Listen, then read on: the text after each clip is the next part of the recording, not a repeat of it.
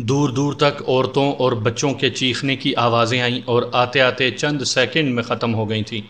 कितने ही भागने वाले चंद कदमों के बाद ही धप से ज़मीन पर गिरने की आखिरी आवाज़ सुना चुके थे। तब रघु की समझ में आया कि उस अकेले पर नहीं, पूरी बस्ती पर कोई बला आई है। वो ताज़ा हवा के लिए बाहर की तरफ़ लपका, मगर लड़खड़ाकर आधा अंदर और आधा दरवाजे के बाहर औंधे मुँह गिर पड़ा। उसकी आँखें जल रही थीं। उन आँखों से इस कदर पानी बह रहा था कि कुछ दिखाई नहीं देता था। उसे नाज था कि उसका जिसम फौलाद है। उस फौलाद में अब खड़े होने की सकत नहीं रही थी। वो किसी तरह घसीटता हुआ बाहर आया। सीने के अंदर आग लगी हुई थी। वो सांस लेना नहीं चाहता था, मगर कब तक रोक सकता था? अंदर की जलन को बाहर निकालना नहीं चाहता था और बाहर की ताज़ा हवा फेफड़ों तक पहुंचाना चाहता था। उसे खुशफहमी हुई, इस बार ताज़ा हवा मिलेगी। उसने ज़ोर की सांस खींची। वो ज़िंदगी की आखिरी तकलीफ़ थी। उसकी गर्दन एक तरफ़ घूम गई। उसने आखिरी बार कमरे के अंदर लालटेन की रोशनी में शांता को देखा। वो चटाई पर उसी तरह पड़ी हुई थी। उसका हसीन और पुरशबाब जिसम बुला रहा था। आओ, तुम लोग कितने शहजोर और मगरूर होते हो। गरूर में मौत को भूल जाते हो। कहाँ है जवानी की मस्ती और ताकत का जोश? आओ। जिस तरह कुत्ते नहूसत से रोते वक्त लंबी आवाज़ निकालते हैं, उसी तरह रघु ने बड़े कर्ब से आखिरी आवाज़ निकाली, फिर दम तोड़ दिया। शायद इसी को कुत्ते की मौत मरना कहते हैं। हकीकत ये नहीं थी कि रघु को अपने बुरे अमाल की सज़ा मिथाइल एसोसनाइट गैस के ज़रिए मिली थी। अगर ये एक जालिम और गुनागार की सज़ा होती तो भोपाल के हज़ारों मजलूम और बेगुनाह एक ही वक्त में रघु के साथ मारे न जाते। आंधी तूफ़ान हो, मुँह ज़ोर सैलाब हो, या एटम बम की तबाहकारियाँ हों। हमेशा चंद ालमों के साथ हज़ारों लाखों मजलूम और बेगुनाह मारे जाते हैं। यही अज़ल से इंसानी तारीख़ है और यही इंसानी मुकद्दर।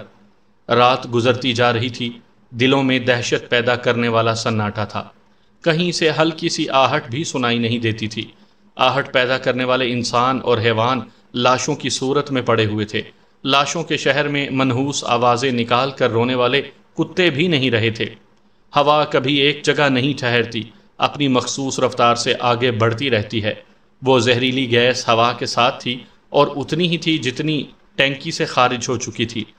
Bharat heavy electricals company limited के इंजीनियर्स ने आकर गैस पर काबू पा लिया था। टैंकी बंद कर दी गई थी। जब गैस बंद हुई तो फैक्ट्री और उसके साथ वाले शांति टाउन की हवा जहर से खाली होने लगी। वो जहरीली हवा अब आगे दूसरे इलाकों में जा रही थी। पीछे ताज़ा हवा मिलने लगी थी। लेकिन अब ताज़ा हवा में सांस लेने के लिए कौन बाकी रहा था? शांता फटे हुए गिरेबान को दोनों हाथों से छुपाए, औंधी पड़ी रो रही थी। चटाई से उठने की ज़रूरत नहीं थी। हर आने वाला लम्हा डरा रहा था कि रघु उस पर झपटने ही वाला है। उसने औरतों और बच्चों की चीखें सुनी थीं। कुछ लोगों की आवाज़ें भी आई थीं। वो यही समझ रही थी कि महल्ले वालों के सामने तमाशा बन गई है। फटे हुए ब्लाउज के साथ किसी को मुँह नहीं दिखा सकेगी, यही सोचकर वो रो रही थी। फिर उसे गहरी खामोशी महसूस हुई। पूरा महल्ला, बल्कि पूरी दुनिया खामोश लग रही थी। यही समझ में आया कि रघु की दहशत से सबको सांप सूंघ गया है और आने वाले चुपचाप अपने घरों में जा चुके हैं। ये सोचते ही वो रोने लगी। सहमी हुई सी उस दरिंदे का इंतज़ार करने लगी। वो नहीं आ रहा था और वक्त गुजरता जा रहा था। वो फैसला कर चुकी थी, चाहे कुछ हो जाए, अपनी जगह से नहीं हिलेगी। सर से गर्दन तक साड़ी लिपटी हुई थी, घुटन सी महसूस हो रही थी। फिर भी उसे हटाकर वो रघु का मुँह नहीं देखना चाहती थी। वो नहीं जानती थी कि यूँ बेहिसो हरकत लेटे रहने के बायस अभी तक ज़िंदा है। बाप बेटी ने कोई डेढ़ घंटा पहले अपने अपने कपड़े धोकर सुखाने के लिए फैलाए थे। कपड़े निचोड़े नहीं गए थे। सर्दी की ओस भरी भीगी हवा में वो जूं के तू गीले ही रहे। जब बाप के मुँह पर धोती और बेटी के मुँह पर साड़ी बांधी गई तो उन कपड़ों से पानी निकल रहा था, जिसका नतीजा ये हुआ कि जहरीली गैस उनके नथनों तक ना पहुँच सकी। तकदीर अजीब तमाशे दिखाती है। दुश्मन इज़्ज़त लूटने आया था, मगर इज़्ज़त ना ले सका। बाप बेटी को ज़िंदा रहने का बहाना दे गया। वो जैसे ज़िंदा लाश बन गई थी। उसी तरह बेहिसो हरकत पड़ी हुई थी, मगर कब तक यूँ औंधी पड़ी रहती। एक घंटा गुजर गया। अचानक ही वो चीख कर बोली, शैतान के बच्चे, मैं लेटे लेटे मर जाऊँगी, मगर तेरी सूरत नहीं देखूँगी। अब तूने हाथ लगाया तो इस साड़ी का फंदा बनाकर मर जाऊँगी। जलील कमीने, खामोश क्यों है? बोलता क्यों नहीं? क्या मर गया है? उसे जवाब नहीं मिला। वो ज़रा चुप रहकर बोली भगवान करे, तुझे मौत आए। जैसे तू मुझे डरा रहा है, वैसे ही तू सहम सहम कर तड़प तड़प कर मरे। मर जा, कुत्ते, मर जा, कुत्ते, मर जा। वो फिर चुप होकर जवाब का या रद्द अमल का इंतज़ार करने लगी। ना जवाब मिल रहा था और ना ही वो रद्द अमल ज़ाहिर करने आ रहा था। तब उसने साड़ी के बाकी हिस्से को एक हाथ से टटोल कर फटे हुए गिरेबान पर रखा। उसके बाद चेहरे पर से लिपटी हुई साड़ी खोलने लगी। ऐसे वक्त भी वो औंधी पड़ी रही। साड़ी नाक और मुँह से हट गई। तब उसने अजीब सी बू महसूस की। नागवार बू से बचने के लिए कोई भी बेख्तियार नाक पर रुमाल रख लेता है। उसने भी साड़ी रख ली। बू का एहसास ख़त्म हो गया। उसने आहिस्ता आहिस्ता सर घुमा कर देखा। दरवाजे के पास दो मर्दाना पाँव नज़र आए, जैसे कोई औंधा पड़ा हो। वो कोई गुंडा ही हो सकता था। पतलून के पाइचे भी नज़र आ रहे थे। उसने आवाज़ दी, बापू जवाब नहीं मिला। वो जल्दी से सीने को ढांपते हुए बैठ गई। फिर साड़ी को अपनी अतराफ अच्छी तरह लपेट कर बोली, बापू, जवाब दो बापू। वो परेशान हो गई। मौजूदा हालत में बाप के पास बरामदे में नहीं जा सकती थी। उसने गठड़ी में से दूसरा ब्लाउज निकाला, फटे हुए को उतारा, दूसरे को पहना, साड़ी को दुरुस्त किया, फिर लालटेन उठाकर जैसे ही वो दरवाजे तक आई, मारे दहशत के चीख पड़ी। उसके दिमाग को शदीद झटका पहुँचा। उसने कभी एक साथ एक ही जगह इतनी लाशें नहीं देखी थी। वो लालटेन उठाए, चीखती चिल्लाती हुई कमरे के अंदर इधर से उधर भागने लगी। वो दौड़ रही थी, उसका साया मुख्तलिफ़ दीवारों पर दौड़ रहा था। उसकी समझ में नहीं आ रहा था, भाग कर कहाँ जाए? बाहर लाशें पड़ी हुई थी और अंदर छुपने की जगह नहीं थी। अचानक वो लड़खड़ा कर गिर पड़ी। लालटेन भी गिरी और यूँ भड़कने लगी जैसे बुझने ही वाली हो। उसने जल्दी से लालटेन को सीधा किया। दौड़ने के बायस वो हाँप रही थी। हाँपने की वजह से फिर बू महसूस हुई। उसने आंचल को नाक पर रखा, फिर हटाकर सूंघा। तब ख्याल आया, ये फैक्ट्री की गैस है। दयाल मास्टर ने उसे मिथाइल एसोसनाइट के मुतलिक बहुत कुछ बताया था। बचाव की फौरी तदबीर भी बताई थी। उसने दूर पड़ी हुई गीली साड़ी को देखा। फिर पानी के ड्रम के पास आई, जो साड़ी पहने हुई थी। उसके आंचल को दूर तक अच्छी तरह भिगो लिया। अगरचे अब ख़तरा नहीं रहा था, ताहम फ़िज़ा में जहरीले असरात और कुछ बू रह गई थी। अब एक एक बात उसकी समझ में आ रही थी। जहरीली गैस के नतीजे में इतनी लाशें नज़र आ रही थीं, उसने सोचा, क्या बापू भी? फ़ौरन ही वो नहीं कहकर चीखती हुई लालटेन उठाकर बेधड़क बाहर आ गई। बाप की मोहब्बत ने खौफ को भुला दिया। फिर इतनी सारी अमवात की वजह समझ में आ गई थी। उसने लालटेन ज़मीन पर रख कर बाप के चेहरे से गीले कपड़े को हटाया उसकी नबज़ और दिल की धड़कन देखी, वो ज़िंदा था, सांस ले रहा था। उसने खुश होकर गीला कपड़ा उसकी नाक पर रखा, फिर आवाज़ दी, बापू, आँखें खोलो बापू। उसने आसपास देखा, रघु और उसके साथी मुर्दा पड़े हुए थे। सामने वाली झोंपड़ी के बाहर दुर्गा मासी और उसकी जवान बेटी की लाशें नज़र आ रही थीं। गली में कुंदन काका और रामू भैया समेत उनके तमाम घर वाले बेजान पड़े थे। वो फूट फूट कर रोने लगी। बात समझ में नहीं आ रही थी कि जहरीली गैस फैक्ट्री से निकलकर वहाँ तक कैसे आ गई थी। उसने बाप के सर को उठाकर अपने जानों पर रखना चाहा तो बेहोशी की हालत में मुँह से कराहें निकलने लगीं। जिस धोती को चेहरे पर से हटाया था, उस पर खून के धब्बे नज़र आए, वो समझ गई। सर के पिछले हिस्से में गहरी चोट लगी है। उसने बाप की गर्दन उठाकर नीचे तकिया रखा, अपने आंचल से चेहरे पर पानी टपकाने लगी। एक घंटे से गीला कपड़ा मुँह पर था इन्हें होश में आ जाना चाहिए था, लेकिन एक तो बेचारे बूढ़े और कमज़ोर थे, दूसरे सर पर ज़ोरदार जरब लगी थी, जो उनकी बर्दाश्त से बाहर थी। पता नहीं कैसे बर्दाश्त करके ज़िंदा रह गए थे, तवील बेहोशी थी, लेकिन अब चेहरे पर पानी टपकाने के बायस रह रह कर कराहने लगे थे। उसी वक्त गहरे सन्नाटे में किसी की आवाज़ गूंजने लगी। कोई मेगाफोन पर पूछ रहा था, यहाँ कोई ज़िंदा है? हम फौरी तिब्बी इमदाद के लिए हस्पताल पहुँचाने आए हैं। जिसमें ज़रा भी जान है, वो हमें किसी तरह अपने पास बुलाए। जो आवाज़ ना दे सके, वो कोई टीन या डब्बा बजा दे। वैसे हम एक एक झोंपड़ी में जाकर देख रहे हैं। शांता लाल टैन उठाकर चीखने लगी, हम यहाँ हैं, यहाँ आओ, मेरे बापू को बचाओ। भगवान तुम्हारा भला करेगा। मेरे बापू ज़ख्मी हैं, बेहोश हैं। आ जाओ, मैं आवाज़ दे रही हूँ, आ जाओ आ जाओ। सहायता करो सहायता करो। वो दौड़ती हुई कमरे में गई, वहाँ से टीन का खाली कनस्तर उठा कर ले आई। झोंपड़ी के सामने खुली जगह से खड़े होकर हाथ में एक लकड़ी लेकर ज़ोर ज़ोर से बजाने लगी। पाँच मिनट के अंदर ही एक एंबुलेंस आ गई। दयाल मास्टर को बड़ी एहतियात से स्ट्रेचर पर डालकर एंबुलेंस में पहुँचाया गया। शांता उसके पास बैठ गई। वहाँ दो मरीज़ और दो कारकुन और थे। एंबुलेंस चल पड़ी। एक शख्स ने बताया, शांति टाउन से सत्तर अस्सी औरतें और मर्दों को अस्पताल पहुँचाया गया है। जिनमें जान बाकी थी। फिर उसने पूछा, बहन, तुम बाप बेटी कैसे बच गए? शांता बे इख्तियार हंसने लगी। दिल खोलकर हँसी आ रही थी। वो जवाब देना चाहती थी, मगर हँसी नहीं थम रही थी।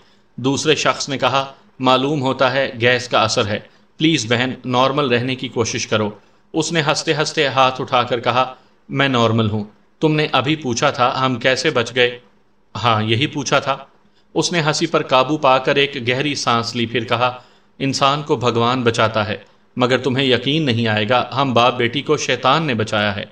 ये कहकर उसने साड़ी का गीला आंचल अपने मुँह पर डाल लिया। ट्रेन एक छोटे से स्टेशन पर रुक गई। गहरी ओस के बाइस धुंध छाई हुई थी। दूर तक स्ट्रीट लैंप की कमज़ोर रोशनियों में छुपे छुपे से मकानात दिखाई दे रहे थे। स्टेशन का अमला प्लेटफॉर्म पर था और भी कुछ लोग दिखाई दे रहे थे। ट्रेन के एक सिरे से दूसरे सिरे तक तमाम कंपार्टमेंट से रोने और तकलीफ़ से कराहने की आवाज़ें आ रही थीं। स्टेशन मास्टर भागता हुआ इंजन की तरफ़ गया। ड्राइवर इंजन से उतर कर आ रहा था।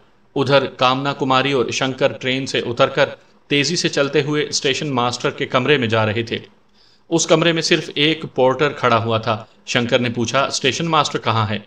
वो तो इस ट्रेन से जा रहे हैं। फ़ोन से मालूम हुआ है, भोपाल में जहरीली गैस फैल गई है। सब लोग कह रहे थे, इधर भी गैस आने वाली है। यहाँ भी सब के सब मर जाएँगे। इसी वास्ते ये सब लोग इधर से जा रहे हैं। कामना टेलीफोन के पास जाकर बैठी हुई थी। रिसीवर कान से लगा हुआ था। उसने कहा, शंकर, ड्राइवर के पास जाओ। ट्रेन को आगे ना जाने देना। लोगों को यहाँ तिब्बी इमदाद ना मिली तो वो आगे जाते जाते मर जाएँगे। तुम्हें तो पता होगा इस छोटे से शहर में कितने अस्पताल और क्लिनिक हैं। मैं अभी मालूम करता हूँ। पहले ड्राइवर को रोकना होगा। वो चला गया। कामना ने कहा, हेलो हेलो, मैं लेडी डॉक्टर कामना कुमारी बोल रही हूँ। भोपाल में होने वाली घटना के बारे में आपको मालूम हुआ होगा। यहाँ इंसानी जानों को बचाने का मसला है। Please, Bharat medical board of directors में से किसी नंबर पर भी बात करवा दें। मैं तमाम डायरेक्टर्स के नंबर बता रही हूँ, आप नोट करें। वो ज़रा चुप होकर दूसरी तरफ़ की बात सुनने लगी, फिर बोली, मैं समझती हूँ, ये एक्सचेंज सिर्फ़ रेलवे स्टेशन के दरमियान रबता कायम करने के लिए है। आप ज़रा इंसानी हमदर्दी से सोचिए। रेलवे के असूलों से ज़रा हट कर आप हज़ारों लाखों बच्चों, औरतों और मर्दों की जानें बचा सकते हैं। उनकी दुआएँ ले सकते हैं, नेकी कमा सकते हैं। ऐसा करने से आपको एक पैसा नहीं मिलेगा, लेकिन मन की और आत्मा की शांति ज़रूर मिलेगी। दूसरी तरफ़ से कुछ कहा गया, वो बोली, धन्यवाद बहुत बहुत शुक्रिया। आप नंबर नोट करें। वो नंबर नोट करवाने लगी। उसके बाद बोली, मेरे पिताजी डॉक्टर रामेश्वर प्रसाद इस बोर्ड के डायरेक्टर हैं। उनसे कहना, जितनी दवाएँ, इंजेक्शन और ज़रूरी सामान वो भेज सकते हैं, मेरे ससुराल के पते पर फ़ौर रवाना कर दें। एक बार फिर शुक्रिया।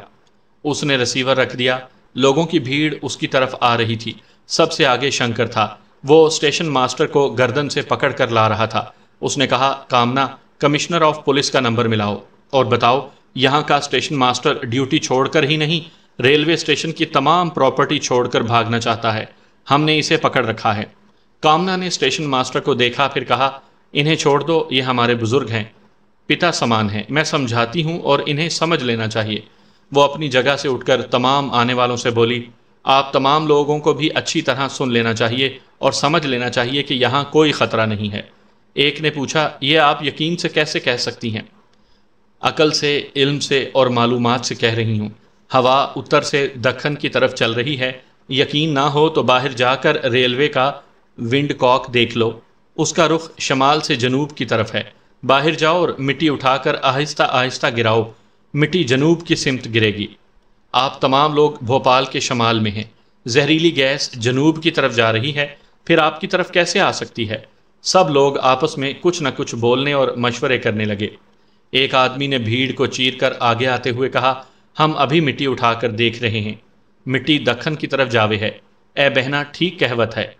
हमरे इलाके में कोनो खतरा ना ही। है शंकर ने कहा, अभी हमें साबित करना होगा कि हम सब इंसान हैं और अपनी माओ और बहनों की जानें बचाने के लिए दिन रात एक कर सकते हैं। भाइयों, मैं हाथ जोड़कर प्रार्थना करता हूँ, इस छोटे से शहर में जितने अस्पताल और क्लिनिक हैं, आप इन मुतासरीन को हाथों हाथ वहाँ पहुँचाने में जल्दी करें। कामना उनके दरमियान से गुजरते हुए बोली, आइए मैं औरत होकर पहल करती हूँ। आप मर्द हैं, पीछे न रहें। ये जोश दिलाने वाली बात थी। सब के सब मुख्तलिफ़ कंपार्टमेंट में घुसकर मुतासरीन को सहारा देकर लाने लगे। जो चल नहीं सकते थे, उन्हें बाजुओं में उठाकर कांधे पर लाद कर ले जाने लगे। एक पोर्टर दौड़ता हुआ आया और कामना से बोला, स्टेशन मास्टर बुलाते हैं, आपका फ़ोन आया है। वो शंकर के साथ स्टेशन मास्टर के कमरे में आई। फिर रिसीवर कान से लगाकर बोली, हेलो, मैं लेडी डॉक्टर कामना कुमारी बोल रही हूँ। दूसरी तरफ़ से बाप की आवाज़ सुनाई दी, बेटी, तुम्हारी आवाज़ सुनकर जान में जान आई है। हमारा दामाद शंकर कहाँ है? ओह, पिताजी आई लव यू शंकर मेरे साथ हैं। हम किसी तरह बचकर भोपाल से 25 मील दूर आ गए हैं। फिर भी मुझ दुल्हन की बदनसीबी है। शायद कोई बाराती ज़िंदा नहीं रहा। शंकर के पिताजी हमारे सामने ही भागते हुए कहीं गए थे। पता नहीं वो किस हाल में होंगे। फ़िक्र ना करो, वो खैरियत से होंगे। बोर्ड के तमाम डायरेक्टर्स एक हेलीकॉप्टर चार्टर्ड करवा रहे हैं। हम तिब्बी इमदाद का ज़रूरी सामान लेकर आएँगे। तुम कहाँ मिलोगी? ज़रा एक मिनट, अभी बताती हूँ। उसने शंकर से कहा, पिताजी ज़रूरी सामान लेकर आने वाले हैं। हमें भी सुबह तक भोपाल पहुँचना चाहिए। वहाँ सुसर जी और दूसरे बारातियों को हमारी ज़रूरत होगी। शंकर ने रिसीवर लेकर कहा, अंकल, नमस्ते। मैं आपका बेटा शंकर बोल रहा हूँ। हम यहाँ रक्षा टैक्सी या प्राइवेट गाड़ी हासिल करने की कोशिश करेंगे। कल सुबह तक भोपाल में होंगे। मुझे बापूजी की बड़ी चिंता है। बेटे, फ़िक्र करने से दिमागी परेशानी बढ़ती है। भगवान ने चाहा तो तुम्हारे बापूजी खैरियत से होंगे। मैं वहाँ पहुँचते ही सबसे पहले उन्हें तिब्बी इमदाद पहुँचाऊँगा। कामना ने रसीवर लेकर बात की। फिर माँ से भी बातें होती रहीं।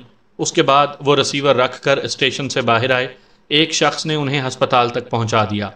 वो छोटा सा शहर था, छोटा अस्पताल था वहाँ दो जूनियर डॉक्टर, चार नर्सें, दो कंपाउंडर और छः वार्ड बॉय थे। कामना लंदन से आला डिग्री लेकर आई थी। वहाँ सब ही उससे मरूब थे, लेकिन वो अपनी बर्तरी को बालाए ताक रख कर उनके साथ एक एक मरीज़ को अटेंड कर रही थी और उन्हें जहरीली गैस के असरात समझाती जाती थी। देखो, जो भी गैस से मुतासर हुआ है, उसका बयान तवज्जा से सुना करो। ये बेचारे सही तरह बयान भी नहीं कर सकेंगे, क्योंकि जहरीली गैस से नर्वस सिस्टम पर असर पड़ता है। ये दिमागी तौर पर कमज़ोर होंगे। इस जालिम गैस से फेफड़ों के अंदर की झिल्ली जल जाती है उसमें सुराख हो जाते हैं। मामूली जरासीम भी सांस की नाली से फेफड़ों में पहुंचकर इन्फेक्शन पैदा करते हैं। जिसम का रकीक मादा फेफड़ों में भर जाता है। इंसान अपने ही खून और मादे में डूबकर मौत का शिकार हो जाता है। इसके अलावा पेट की बीमारियाँ, आंतों का कैंसर रीढ़ की हड्डी और दिमाग की तकलीफ़ें भी ज़ाहिर होती हैं। लेकिन सबसे पहले तकलीफ़ आँखों में होती है। हमें सिर्फ़ इनकी जान ही नहीं बचानी, इन्हें अंधेपन से भी महफूज रखना है। वहाँ के हस्पताल और मुख्तलिफ़ क्लिनिक्स में 200 से ज़्यादा मुतासरीन पहुँचाए गए थे, जिनमें तकरीबन 80 अफराद अंधे हो चुके थे। बाकी लोगों की बिनाई बहाल रखने की कोशिश की जा रही थी। मुश्किल ये थी कि वो कई तरह के अमराज में गिरफ़्तार हो गए थे और वहाँ हर मर्ज की दवा मौजूद नहीं थी। सुबह तक पचास अफराद मर चुके थे। शंकर ने कई बार रेडियो ऑन किया। ख्याल था, दिल्ली रेडियो भोपाल की ताज़ा तरीन सूरत हाल से आगाह करेगा, लेकिन इस सिलसिले में तमाम सरकारी ज़राए खामोश थे। कांग्रेस हुकाम मोहतात थे, इतने बड़े हादसे की ज़िम्मेदारी उन पर आयद होने वाली थी। वो मुकम्मल एहतियाती तदाबीर के बाद ही रेडियो और टी वी वगैरह से इन दो नाक अलमिया की खबर सुनाना चाहते थे। उन्हें इतमान था कि आधी रात के बाद हादसा हुआ है, लिहाजा सुबह के अखबार में भोपाल ट्रेजिडी की कोई खबर नहीं होगी। उनके ज़मीमे दूसरे दिन शाम तक मंजर आम पर आ सकेंगे। शंकर ने फ़ोन के ज़रिए भोपाल के हमीदिया हस्पताल से रबता कायम किया। वहाँ के काउंटर क्लर्क ने बताया, जहरीली गैस का रुख फैक्ट्री से जनूब की तरफ़ था। वो चंद इलाकों से गुजरती गई है। भोपाल के मशरकी और मगरबी इलाके महफूज हैं। वो गैस जिन इलाकों से गुजर चुकी है, वहाँ के मुतासरीन को हस्पताल पहुँचाया जा रहा है। उनमें बड़े बड़े बिजनेसमैन और इलाके की मशहूर हस्तियाँ भी हैं। शंकर ने कहा, मेरे बापू जी का नाम रामदास घोखले है। वो मशहूर दवाओं की कंपनियों के सिविल एजेंट हैं। पूरे भोपाल में दवाएँ सप्लाई करते हैं। क्या तुम किसी तरह उनसे दूसरी तरफ़ से कहा गया, समझ गया जनाब। आप परेशान ना हो। वो अस्पताल के दो नंबर वार्ड में हैं और ख़तरे से बाहर हैं। शंकर रिसीवर रखकर दौड़ता हुआ कामना के पास आया। वो थकन से चूर थी। फिर भी चैम्बर से निकलकर मरीजों को देखने जा रही थी। शंकर ने आते ही उसे गले से लगा लिया। खुशी से झूमते हुए कहा बापू जी ज़िंदा हैं, खतरे से बाहर हैं। हमीदिया अस्पताल के दो नंबर वार्ड में हैं। कामना जवाबन खुशी का इजहार करना चाहती थी, मगर कुछ कह न सकी। शंकर उस पर आना झुक गया। थोड़ी देर के लिए वक्त ठहर सा गया था। उन लम्हात में याद आया कि आज उनकी सुहाग रात थी, जो तकरीबन गुजर चुकी थी। अब सुबह होने वाली है क्या सुहाग रात की सुबह ऐसे ही हुआ करती है? उसके दुल्हा ने उसे चंद लम्हों के लिए गुम कर दिया था। पूरे बदन में गर्म आंधियाँ सी चलने लगी थी। दिमाग में सनसनाहट हो रही थी। उसके कदम ज़मीन पर नहीं थे। वो ज़मीन से आसमान की तरफ़ उड़ती जा रही थी। शंकर ने छोड़ा तो उसका सर चकरा गया। निगाहों के सामने शोहर का चेहरा धुंधला गया। उसने एक हाथ से सर को थाम लिया। आगे पीछे डगमगाने लगी। शंकर ने बाजुओं में संभाल कर पूछा, क्या हुआ? उसकी आँखें बंद हो गईं। सर एक तरफ़ ढलकने लगा था। शंकर ने बाजुओं में उठा लिया।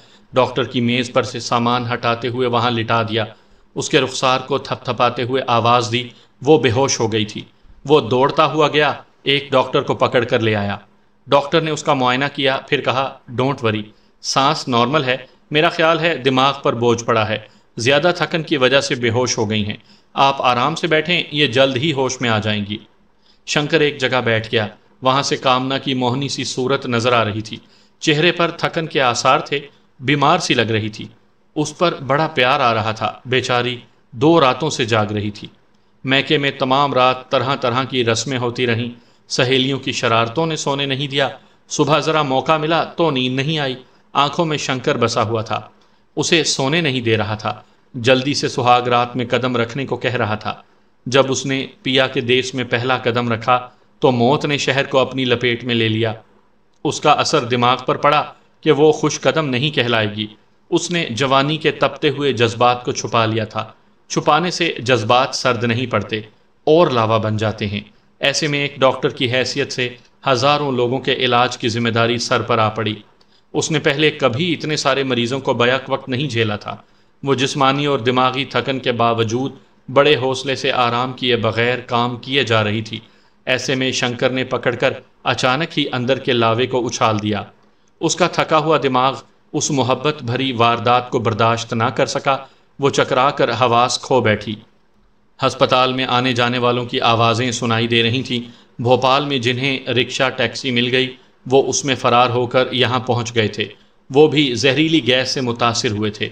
हस्पताल में पहले ही मरीज़ कई गुना ज़्यादा थे, अब और तादाद बढ़ती जा रही थी। एक वार्ड बॉय डॉक्टर को बुलाने आया। डॉक्टर ने शंकर से कहा, इन्हें होश आ रहा है। फ़िलहाल आराम की ज़रूरत है। आप इन्हें मरीज़ों के पास ना जाने दें। वो चला गया। शंकर ने दरवाजे को अंदर से बंद कर दिया। कामना के पास आया। वो आहिस्ता आहिस्ता आँखें खोल रही थी। उसने सर को सहलाते हुए पूछा, कामना, मेरी जान, कैसी हो? उसने अपना एक हाथ उठाया। शंकर ने उसके हाथ को दोनों हाथों से थाम लिया। वो बोली, सॉरी, मैं अपने आप को संभाल ना सकी। गलती मेरी है। मैंने नफ्सियात में एम किया है। इतनी सी बात ना समझ सका कि औरत के दिल में जज्बात का तूफ़ान हो और दिमाग पर ना ख़त्म होने वाले फ़राइज़ का बोझ हो तो उसे अचानक एक लम्हे का प्यार नहीं देना चाहिए। वो ना जज्बात की तरफ़ आ सकती है, ना फ़राइज़ की तरफ़ जा सकती है। बीच ही में गिर पड़ती है। मुझे सॉरी कहना चाहिए, मैंने तुम्हें शौक पहुँचाया है। वो मुस्कुराते हुए बोली, जो हुआ, सो हुआ। अब मैं ठीक हूँ। चलो मुस्कुराओ। उसने मुस्कुराते हुए कहा, एक वादा करोगी? कुछ जाने बूझे बगैर कैसे वादा कर लूँ? क्या तुम्हें मुझ पर भरोसा नहीं है? प्लीज़ अपनी भलाई के लिए एक वचन दो। अच्छा वचन देती हूँ, बोलो। अब तुम किसी मरीज़ को अटेंड नहीं करोगी। ओ नो, वो आहिस्ता आहिस्ता उठकर बैठ गई। मैं ऐसा वादा करके डॉक्टर के मोजिज पेशे को नीचा हरगिज़ नहीं दिखाऊँगी। तुम वादा कर चुकी हो। क्या ज़बान से फिरना चाहती हो? वो बेबसी से बोली इस वादे की मुद्दत क्या है? जब तक जिस्मानी और दिमागी थकन दूर ना हो और तुम ड्यूटी के लिए बिल्कुल फ़िट ना हो जाओ। जनाब को कैसे मालूम होगा कि मैं बिल्कुल फ़िट हो चुकी हूँ? सुबह हो चुकी है, मैं गाड़ी लेकर आता हूँ। हम भोपाल जाएँगे, वहाँ तुम्हारे पिताजी आएँगे। भारत के मशहूर मरूफ डॉक्टरों में उनका नाम आता है। इतने बड़े डॉक्टर साहब, जब तुम्हें सेहतमंदी का सर्टिफिकेट दें तो तुम अपनी ड्यूटी। वो बात काट कर बोली ओ नो। पिताजी तो मुझे महीनों आराम करने का हुक्म देंगे। देखो, मैं तुम्हारी धर्म पत्नी हूँ, तुमसे झूठ नहीं बोलूँगी। मैं दिन रात मसरूफ़ रहने की आदि हूँ। मुझे काम से रोकोगे तो मैं बीमार पड़ जाऊँगी।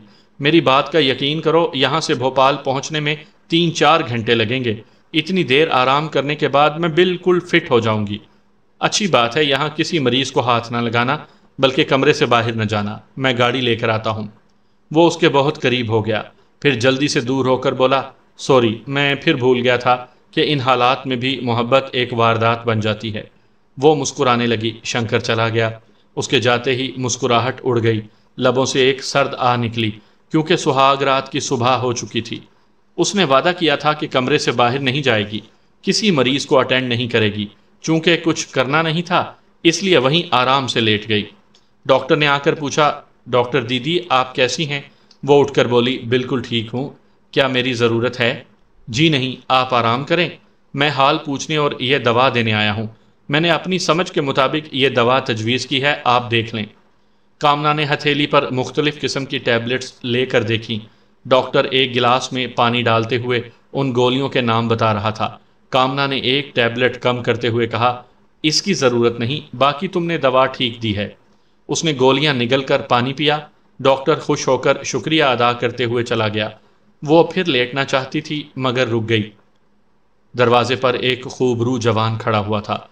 दाढ़ी बड़ी हुई थी, पजामे और कुर्ते पर गर्म वेस्ट कोट पहने हुए था। उसने कमरे में आकर पूछा, तुम हिंदू हो या मुसलमान?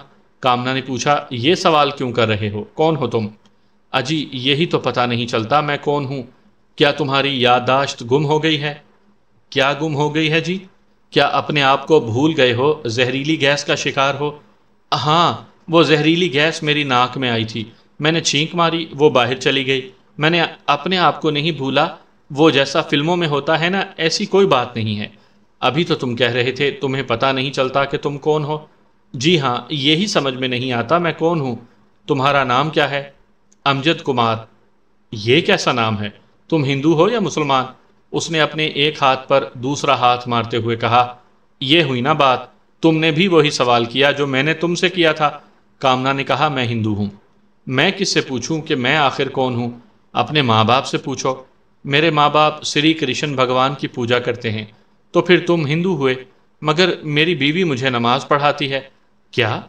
कामना ने हैरानगी से उसे देखा। शंकर ने कमरे में दाखिल होते हुए कहा, चलो, गाड़ी आ गई है। कोई टैक्सी वाला भोपाल जाने के लिए तैयार नहीं था। मैंने पाँच सौ रुपये देकर राज़ी किया है। आओ। वो बोली, ज़रा ठहरो। तुम्हारे सामने मेंटल केस है। ये अपना नाम अमजद कुमार बताता है। माँ बाप श्री कृष्ण भगवान की पूजा करते हैं और बीवी इसे नमाज़ पढ़ाती है। शंकर ने उसे गौर से देखा, फिर पूछा, तुम्हारा पैदाइशी नाम क्या है? वो बोला, मैं कैसे बता सकता हूँ? पैदा होते वक्त मैं बहुत छोटा था। अपना नाम भला कैसे सुनता? शंकर ने सर खुजाते हुए कामना से कहा, देखो, कितनी जहानत की बात कर रहा है। कोई बच्चा अपना पैदाइशी नाम सुन सकता है, ना समझ सकता है। यहाँ तक ये जहानत वाली बात है। इसके बाद का जवाब अहम काना है। हम भी पैदाइश के वक्त ना समझते, लेकिन माँ बाप से और दुनिया वालों से सुनते सुनते यकीन हुआ कि तुम्हारा पैदाइशी नाम कामना और मेरा पैदाइशी नाम शंकर है। अमजद कुमार ने खुश होकर कहा अच्छा तो तुम्हारा नाम शंकर है। तुम भी मेरे जैसे हो। अच्छा बताओ, हिंदू हो या मुसलमान हो? शंकर ने उसके शाने को थपक कर कहा, दोस्त, मेरे पास वक्त नहीं है, वरना मैं तुम्हारी स्टडी करता। चलो कामना। वो बोली, पता नहीं ये कौन है? कोई इसके आगे पीछे है या नहीं, इसे तवज्जा की ज़रूरत है। तुम डॉक्टर से कह दो, इसका ख़ास ख्याल रखा जाएगा। उसी वक्त डॉक्टर आ गया। अमजद कुमार को देख कर बोला, अरे तुम बिस्तर से भाग कर यहाँ आए हो। चलो, अपने बेड पर जाओ। नहीं जाऊँगा। पहले ये बताओ, तुम्हारी बीवी तुम्हें नमाज़ पढ़ाती है? डॉक्टर ने कहा, बड़ी मुश्किल है। ये जब से आया है, हिंदू मुसलमान का चक्कर चला रहा है।